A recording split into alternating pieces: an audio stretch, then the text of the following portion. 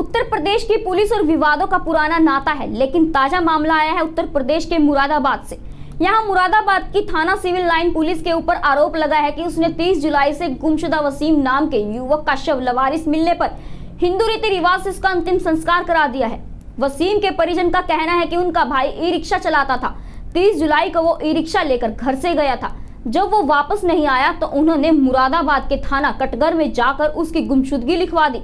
उसके बाद, उन्हें तीन दिन बाद, यानी 2 अगस्त को पता चला कि मुरादाबाद के थाना सिविल लाइन क्षेत्र में एक अज्ञात शव मिला है, जिसका हुलिया उनके गुमशुदा भाई से मिल रहा है। तब वसीम के परिजन पोस्टमार्टम हाउस पहुँचे और वहाँ पुलिस और डॉक्टरों से अनुरोध किया कि लवारिस मिले शव को उन्हें दिखा दिया जाए।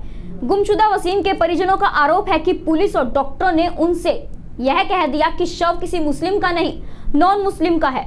इस पर परिजन वापस आ गए। वहीं थाना सिविल लाइन में मिले लावारिस शव के मामले में पुलिस ने जब छानबीन की तो एक सीसीटीवी कैमरे में वसीम की रिक्शा ले जाते हुए दो शख्स पुलिस को दिखाई दिए।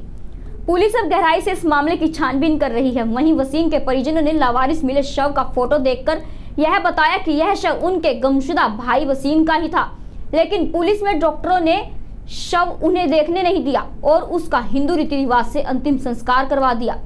वहीं इस मामले में क्षेत्र अधिकारी सिविल लाइन राकेश कुमार ने कहा कि वह पोस्टमार्टम के दौरान लावारिस मिले शव से प्रिजीव किए गए सैंपल से डीएनए टेस्ट कराकर वसीम के परिजनों द्वारा लगाए जा रहे आरोपों की जाँच कराएँगे।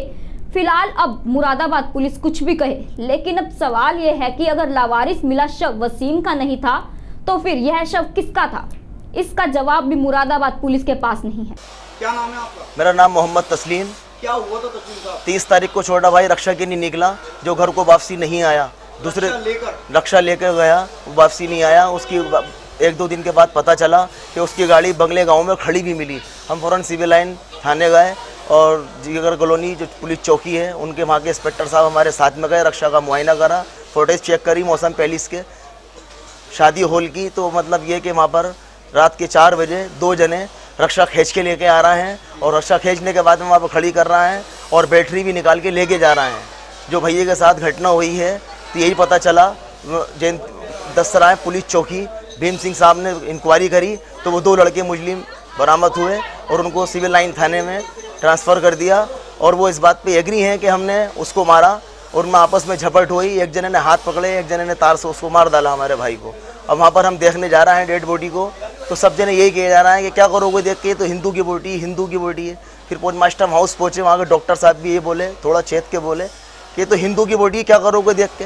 वहाँ हमें सही तरह से नहीं देख नहीं देख पाए। आप मानते हैं कि आपके भाई को हिंदू रीति रिवाज से पुलिस ने डॉक्टरों ने संस्कार कर दिया जी हाँ वो यही कह रहा है कि हिंदू की बोटी है और उसके डैमेज भी मतलब चेक करने को कहना है तो हमारी कोई किसी तरह की कोई सुनवाई नहीं हो रही और वहाँ पर वो दो लड़की भी सिविल लाइन थाने में ही हैं और उनको ऊपर किसी तरह की कोई भी इंक्वायरी नहीं हो रही। चला दिया आपको जला के? हाँ। किस तरह से बॉडी को आपने जब देखा तो मतलब ये कि हमें तो पत, यही नहीं पता कि इन्होंने क्या करा है और यही सुनने में आ रहा है कि हमारे भाई को जला दिया गया है और हमें बॉडी भी नहीं मिल पाई। है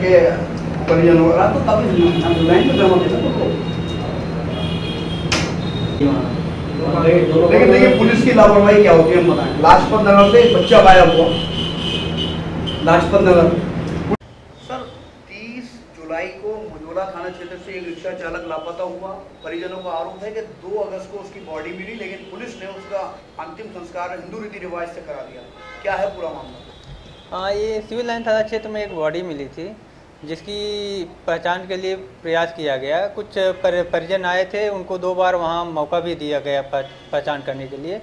उनके द्वारा द्वारा मना कर दिया गया था।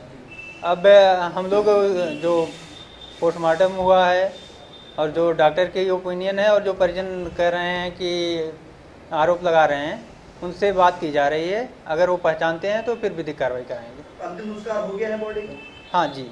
तो सर ये जो गुमशुदा था मोजोले का था लिखी गई गुमशुदगी कटघर में परिजनों का आरोप है कि हत्या आरोपी पकड़े गए हैं? कुछ ऐसा? अभी पकड़े नहीं गए हैं। जो जो परिजन ने तहरीर दी थी उन्होंने अपना करूला क्षेत्र बताया था। करूला क्षेत्र कटघर में लगता है तो कटघर कटघर में अपना करूला क्षेत्र बता दीजिए इसलिए कटघर में गुमशुदगी लिखी गई गया है तो कैसे होगा कंफर्म कि ये बॉडी जो गुमशुदा व्यक्ति है उसी की थी। उसकी फ़ोटो भी है और परिजन को दो बार ऑलरेडी दिए वहाँ जो मोर्चरी पर दिखाया जा चुका है बॉडी तो अभी पुष्टि पुलिस के द्वारा नहीं हुई है?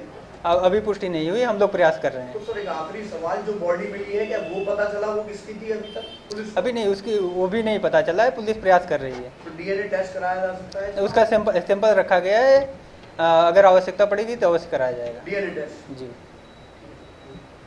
ऐसे ही लेटेस्ट खबरें पाने के लिए सब्सक्राइब बटन पर क्लिक कर बेल आइकन को दबाएँ।